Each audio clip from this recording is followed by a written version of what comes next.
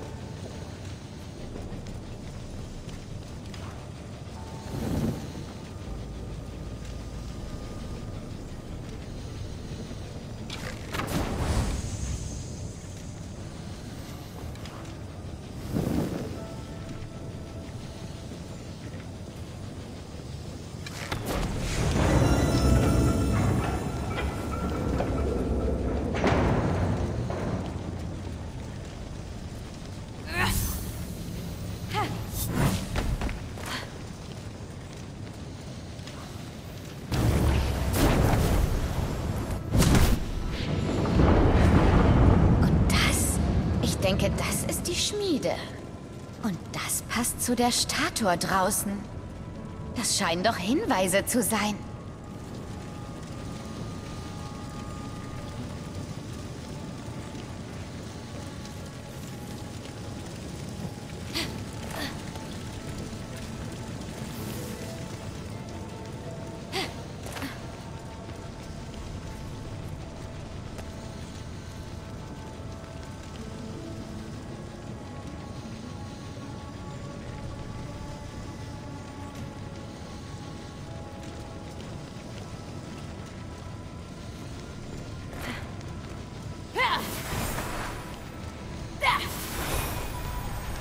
Nächstes Werk wird Schnee sein. Aber eingesperrt. Ich könnte es... Hephaistos, du bist da. Es war, als würde die Schmiede mich rufen. Ich musste folgen. Wo wir davon sprechen. Ich habe Luftschächte freigelegt, Feuer entzündet, Wasserräder in Gang gesetzt und sogar seltsame Glyphen freigeschaltet, aber nichts ist passiert. Nun, ich habe mit meinen Händen gesprochen, wie man das so macht, und sie sagen, dass sie der Schlüssel sind. Sie müssen etwas berühren. Endlich was für mich. Zeus. Diese Stätte ist uralt. Du sollst die Schmiede ganz allein erbaut haben. Ich? Aber es ist so dreckig hier. Und die Beleuchtung.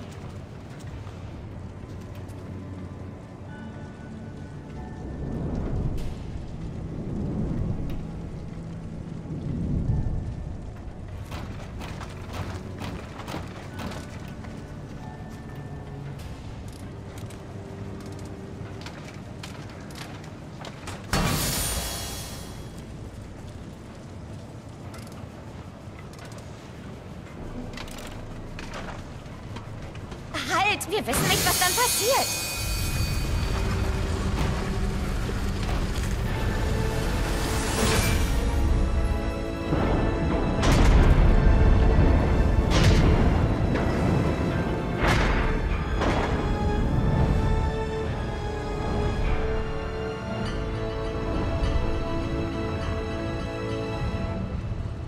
Meine Güte, Menschlein, wie fleißig du bist. Eine Schande, deine Kraft so ans Mittelmaß zu verschwenden. Hinter dem entstellten Gott liegt eine Jauchegrube und vor ihm das reinigende Feuer der Schmiede. Wende dich ab, lass ihn in den Flammen verbrennen.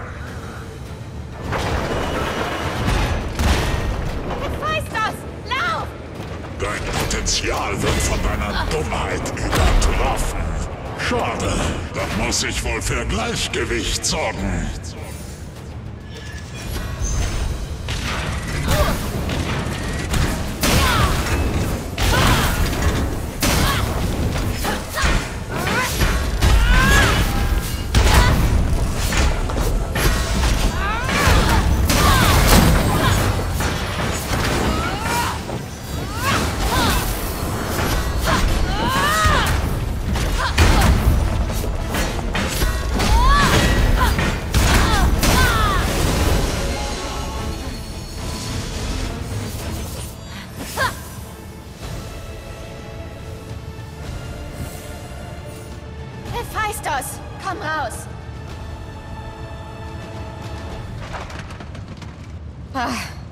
Dir geht's gut.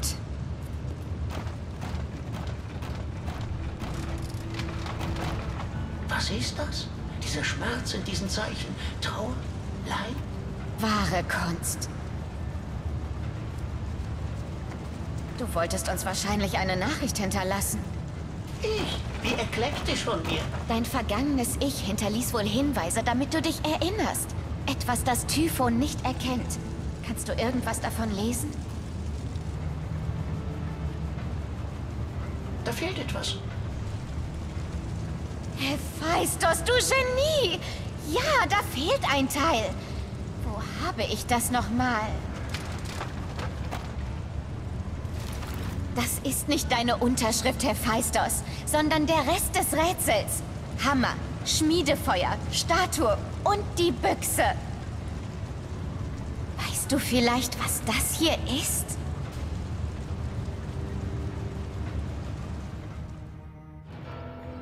Natürlich wusste er es nicht. Aber was sie dort vor sich sahen, war die Büchse der Pandora. Fängst du schon wieder damit an? Du hast den Sterblichen das Feuer gebracht. Dafür wurdest du an den Felsen gekettet. Ihre gerechte Strafe war die Büchse. Also zwingst du deinen Sohn Hephaistos ein Gefäß zu schmieden, das jedes Übel der Welt auf sie loslassen kann? Ist das etwa gerecht? Hephaistos ist ihm gern gefolgt. Er wusste, was er tat. Er tat, was ihm befohlen wurde, nachdem du ihn sein Leben lang gequält hattest. Sprich nicht über meinen Sohn! Pandora handelte mit unschuldiger Neugier, als sie die Büchse öffnete. Du mit böser Verachtung. Ich warnte sie und sieh, was geschah. Die Sterblichen zerfleischten und schändeten ihre Welt und einander. Die Warnung war wohl nicht genug. Nun ist es vorbei. Sie sind Stein. Und die Büchse der Pandora war der Anfang vom Ende. Also, zuerst brauchen wir einen Hammer. Hab ich. Woher hast du... Vergiss es. Ich glaube, dein vergangenes Ich will, dass wir den Hammer mit der Macht des Schmiedefeuers aufladen und dann hier durchbrechen. Das passt zu mir. Lese ich das richtig, ist deine Essenz darunter. Aber da ist noch mehr. Ich habe dir gesagt, was das ist. Eine Büchse. Nein, also ja, aber außerdem befand sich darin einmal jede vorstellbare Art des Leids. Genug Leid, um die Welt zu füllen. Und du hast gelitten, Hephaistos. Sehr. Aus dem Olymp verbannt. Verstoßen. Allein. Egal wie großzügig du warst, wie schwer du gearbeitet hast. Jeder Gott lehnte dich ab. Nur weil du anders warst. Diese Büchse ist der letzte Hinweis. Ich glaube, dass Typhon dein Leid gestohlen hat. Und damit auch deine Erinnerung. Um also meine Erinnerungen und mein Talent zurückzubekommen. Musst du den Schmerz fühlen, der weggeschlossen wurde. Mach.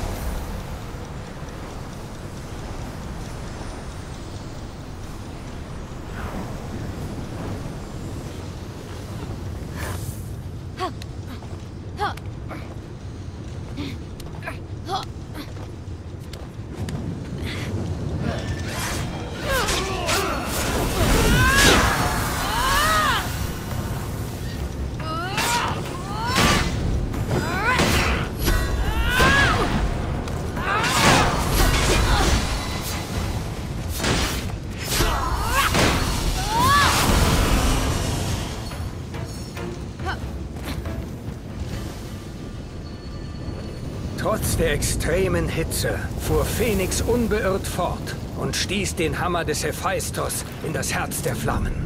Prometheus, du übertreibst. Kein Mensch könnte jemals diesen Hammer führen. Oder seine Blitze? Und doch, durch das Aufsaugen der Macht der Flammen, erwachte der Hammer zum Leben. Und damit löste Phoenix den zweiten Segen des Hephaistos. Den wiederbelebten Hammer in der Hand musste Phoenix nur noch hinunter zum eingesperrten Leid des Hephaistos springen.